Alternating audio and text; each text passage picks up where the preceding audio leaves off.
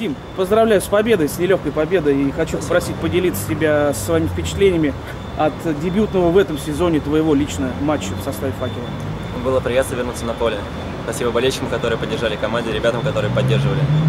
Конечно, немножко было непривычно, игровой тонуса не было, но все равно старался сделать все, что мог. Взаимодействие с линией защиты, все нормально? Да, ребята подсказывали, помогали, поддерживали. Все хорошо. Спасибо большое.